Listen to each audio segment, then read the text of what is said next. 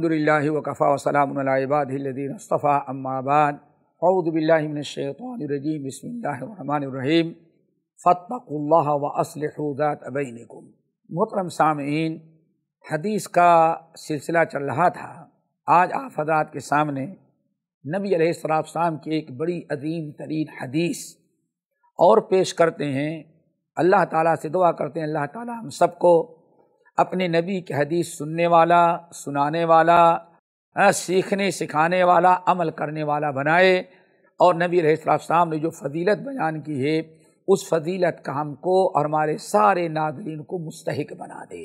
इमाम अबू दाऊद, इमाम तिनविदी इमाम अहमद बिन हम्बल, बहकी वगैरह ने मशहूर सहाबी अबू दरदा रदी अल्लाह तु से रवायत किया एक मौके पर अल्लाह रसूल ने इरशाद फरमाया, लोगो, अला उखबिरुकुम बेअफजल मिन दरजति सियामी वसलाती वसदकती कालू, बला या रसूल अल्लाह फ़काला, इसलाह ज़ातिल बैन फ़इन फ़साद ज़ातिल बैन ही अलहालिका लाकुल इन्नहा तहलिक अशार वलाकिन तहलिकुद्दीन औ कमा काल अलैहिस्सलाम ये हदीस हमने आप हजरात के सामने पढ़ी। इस हदीस में हमारे मुआशरती ज़िंदगी की एक बड़े अहम मसले की निशानदेही अल्लाह के रसूल सल्लल्लाहु अलैहि वसल्लम ने किया। वो है इसलाह ज़ातिलबैन आज इसलाह ज़ातिलबैन की बड़ी ज़रूरत है। इसलाह ज़ातिलबैन है क्या? पहले वो समझे। बैन के माने आते हैं जुदाई, कट जाना, टूट जाना, अलग हो जाना। शरीयत के इस्तेलाह में कहा जाता है, हमारे दो मुसलमान भाई किसी रंजिश की बिना पर, किसी झगड़े, किसी लड़ाई, किसी फसाद की बिना पर, किसी बदगुमानी या गलतियों कोताही की बिना पर, जो आपस में जुड़ के रहना चाहिए तो वो आपस में जुदा जुदा हो जाए, अलग हो जाए। इसको कहा जाता है फसाद ज़ातिल इस्लाम उल्फत का, मोहब्बत का हमदर्दी का, ईसार का मज़हब है। इस्लाम हर ऐसी चीज़ का तालीम देता है, जिससे मुसलमानों की आपस में इज्तमाहीत, उल्फत और मोहब्बत, यकसानियत, ईसार और कुर्बानी, हमदर्दी का जज्बा हो। हर ऐसी चीज़ से इस्लाम ने मना कर दिया है, बल्कि हराम करार दिया। जो आपस में लड़ाने वाली हो, फूट डालने वाली हो तनाज़ात और लड़ाई लगाने वाली हों, एक दूसरे से दूर कर देने वाली चीज़ें जो हैं, ऐसी तमाम चीज़ों को इस्लाम ने हराम करा दिया है। रब्बुल आलमीन ने कुरान पाक के अंदर फरमाया फ़तकुल्लाह व असलहत बैनकुम।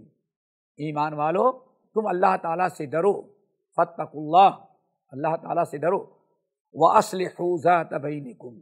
और अपने दरमियान अगर कोई बिगाड़ पैदा हो गया हो तो उसकी इसलाह कर लो।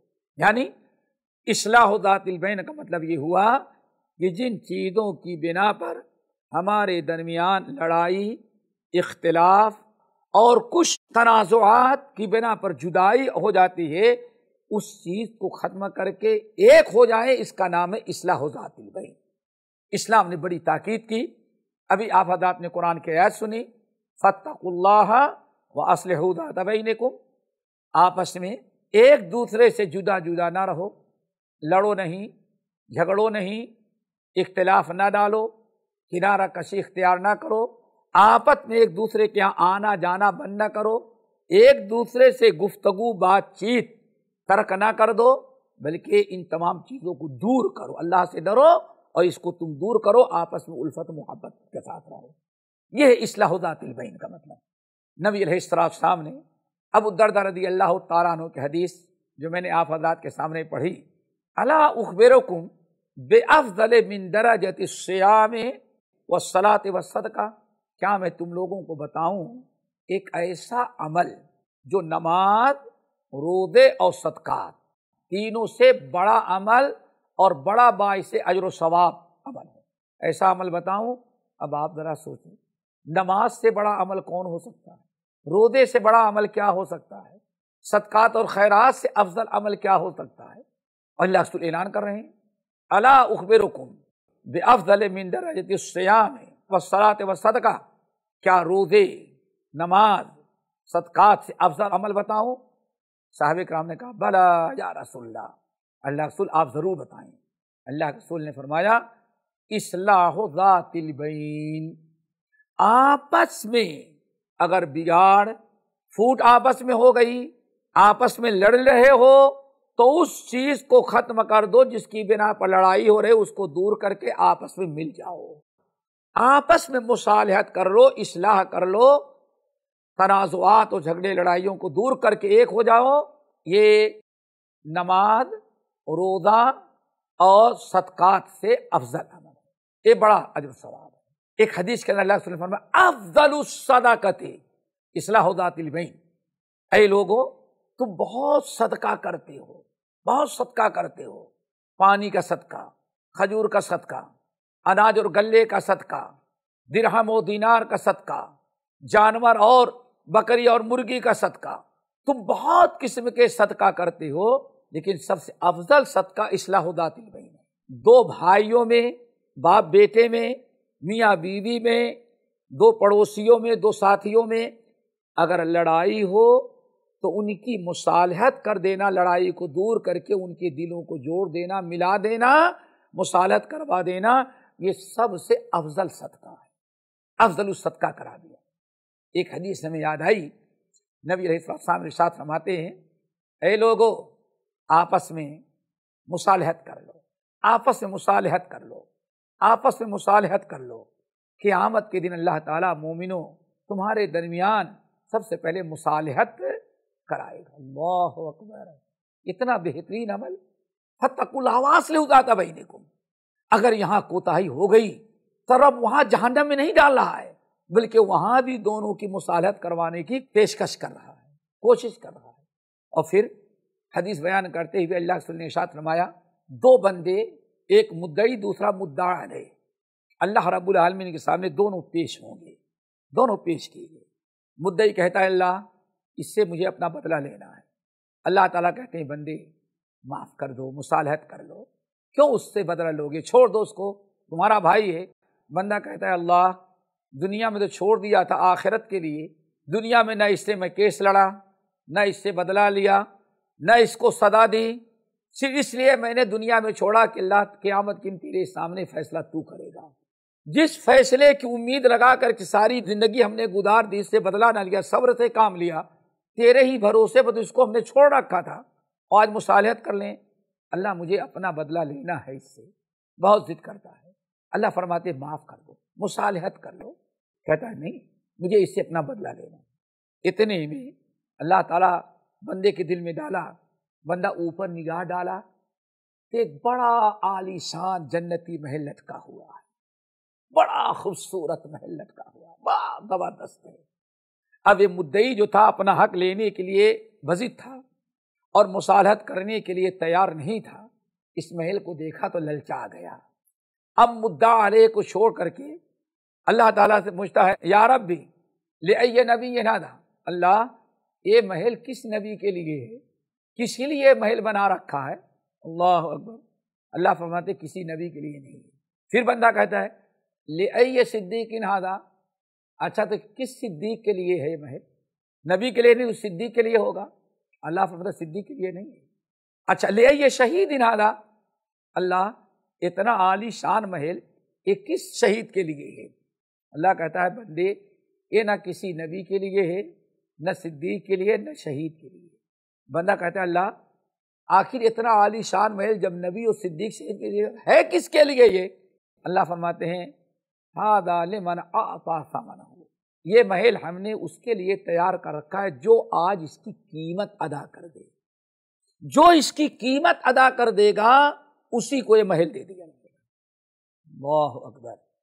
अब बंदा सर झुका लिया। अल्लाह, तब तो फिर दुनिया के एक मकान बनाने में तो इतनी रकम लगती थी। ये जन्नत का इतना आलिशान महल कौन खरीद सकता है हश के मैदान में? अल्लाह पूछते, क्या हुआ? अल्लाह इसकी कीमत कौन अदा कर सकता है? आप तो फरमाने, जो कीमत अदा करे उसके लिए है। मैं अमले को समाना हूँ इसकी कीमत का मालिक कौन है? किसके बाद इतना रुपया पैसा है? अल्लाह ताला फरमाते हैं, इसकी कीमत तेरे पास मौजूद है। बंदा कहता नहीं, अल्लाह ताला मेरे पास नहीं है। मैं गरीब आदमी, मेरे पास कोई कीमत नहीं। जो कुछ माल दौलत तो दुनिया में छोड़ के आ तो कुछ भी नहीं है खाली हाथ है। अल्लाह फरमाते, नहीं, तेरे पास इसकी कीमत है। बंदा कहता है वो क्या है? अल्लाह फरमाते, अपनी भाई के साथ सुलह कर ले, उसको माफ़ कर ले, यही इसकी कीमत है। अल्लाह फरमाते हैं, इतना जब बंदा सुना कि अगर मैं अपने भाई के साथ मुसालहत कर लूँ और अपने भाई को माफ़ कर दूँ तो ये इतना आलीशान जन्नत का महल अल्लाह ताला हमको दे देगा।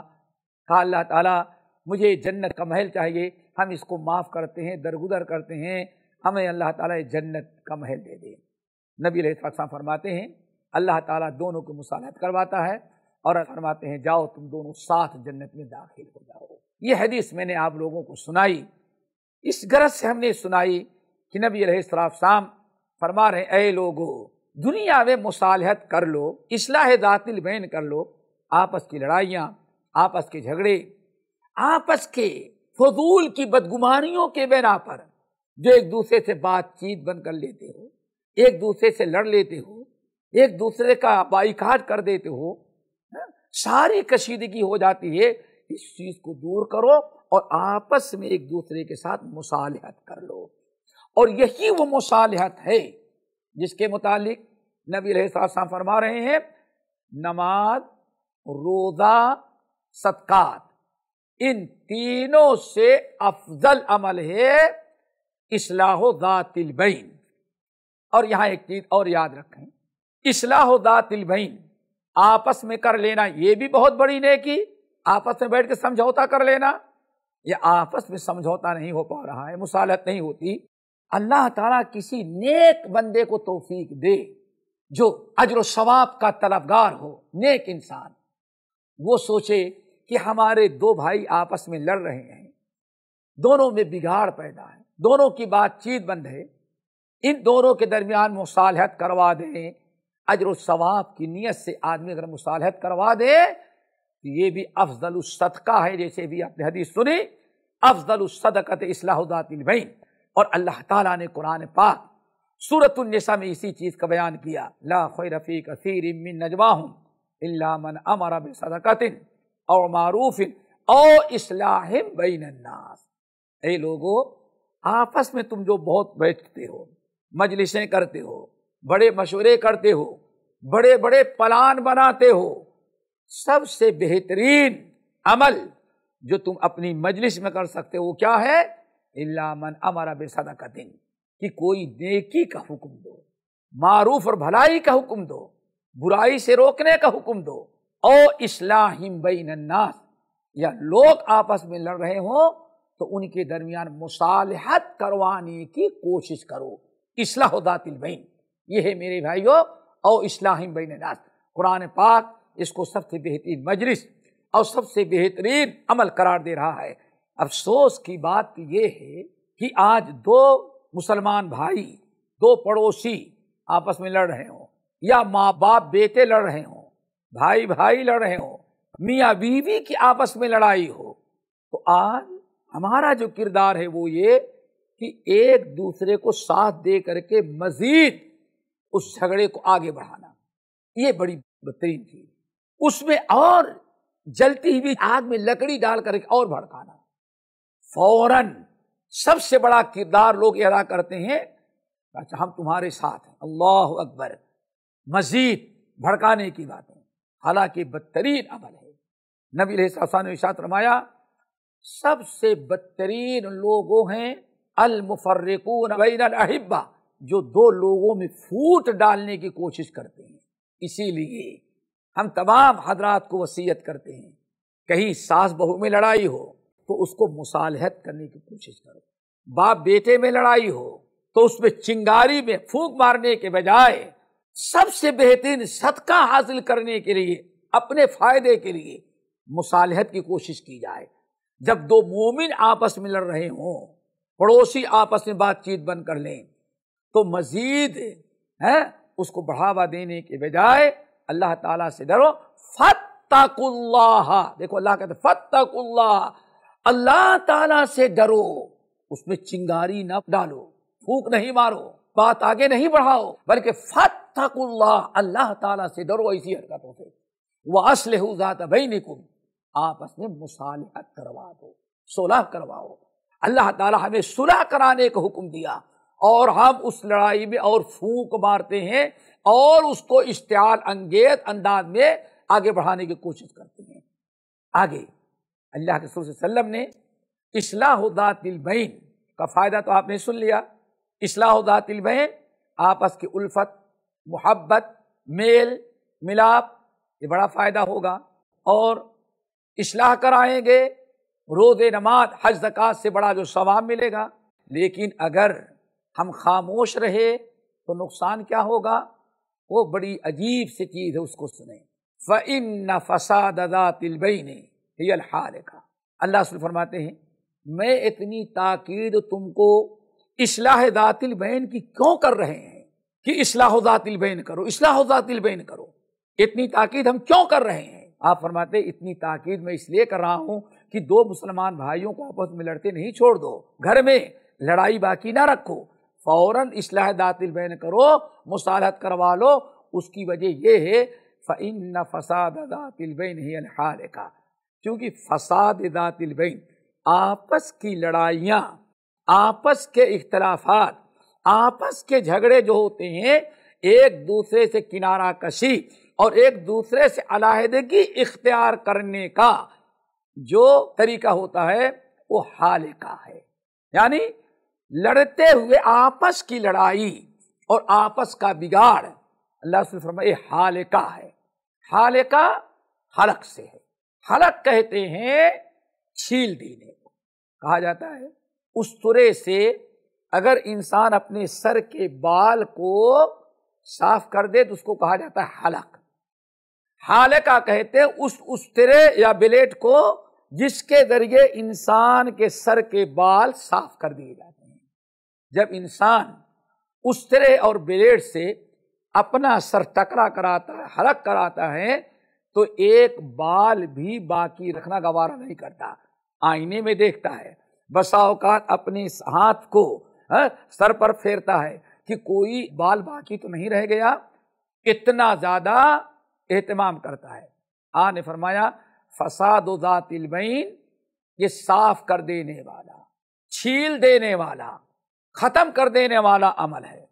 फिर आपने फरमाया, ला अकूल अन्ना तहल कुशार मैं ये नहीं कहता कि सर के बाल छील देता है फसाद तिलबैन आपस की लड़ाइयाँ, आपस के झगड़े, आपस का बिगाड़ सर के बाल को नहीं छीलता वला किन तहलकुद्दीन तुम्हारे दीन को छील के बराबर कर। क्या मतलब?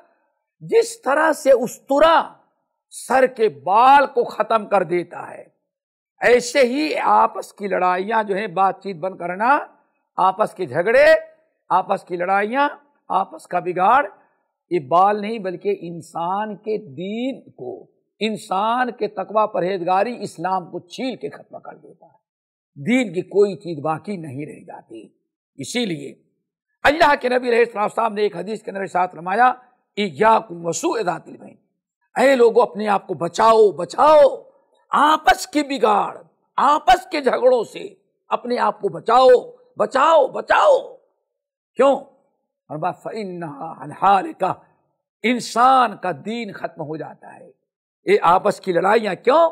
इंसान जब आपस में एक दूसरे से लड़ता है एक दूसरे से झगड़ा कर लेता है, बातचीत बंद हो जाती है तो एक दूसरे की गिबत करता है, चुगलखोरी करता है, झूठ बोलता है, एक दूसरे को नुकसान पहुँचाने की कोशिश करता है, बस अवकात एक दूसरे को कत्ल करने की कोशिश करता है, उसका जानी माली नुकसान पहुंचाता है। सारी बुरी हरकतें इंसान करने के लिए तैयार हो जाता है, कब? जब किसी से लड़ लेता है, खून का, कत्लगारत का सारी चीज़ों की लड़ाई असल में जबान से शुरू होती है। इसीलिए जब इंसान इतना गुनाह करेगा, इतनी बुराइयाँ करेगा तो उसका दीन और ईमान कहाँ बाकी रहेगा? इसीलिए अल्लाह के सुनने साथ रमाया अय लोगो, इसलाह दातिल बैन करो। रब ने कुरान के अंदर फरमाया, फ़त्तकुल्लाह व असलहदात बैनकुम। अल्लाह ताला से डरो और इसलाह दातिल बैन कर लो। आपस की बिगाड़ आपस की नाराज़गी, आपस की कशीदगी को दूर करो, ख़त्म करो, मुसालहत करके, वकून इबाद अल्लाह आपस में भाई भाई बन जाओ। यही क्या कम है वल्लाह? सही मुस्लिम की हदीस। आप तमाम सामीन नाजरीन, अपने दिलो दिमाग में बैठाएँ कि हम छोटी छोटी बातों पर जब लड़ करके एक दूसरे से किनारे हो जाते हैं, बात नहीं करते, सलाम, कलाम बंद कर देते हैं तो कितना नुकसान होता है? उसको इस हदीस से सुने। नबी रहे रहीसात रमाते हैं, बंदों के सारे नेक आमाल पीर को और जुमेआत को अल्लाह ताला के सामने पेश किए जाते हैं। हमारी नमाज़, हमारी तिलावत कुरान, हमारे तहजद गुदारी हमारे रोज़े, हमारे सदक़ात खैरात, हमारी सारी नेकियाँ अल्लाह ताला के सामने जब जुमेरात को, पीर को पेश की जाते हैं तो अल्लाह के नबी फरमाते हैं, अल्लाह सब के आमाल को कबूल करता है। दो बंदों के आमाल रब के सामने पेश किया गया तो अल्लाह ताला फरमाते हैं, इनके अमाल को हटाओ, हमारे करीब से। हटाओ हटाओ! इनके अमाल को हटाओ, दूर रखो। इनका कोई अमल हम कबूल नहीं करते।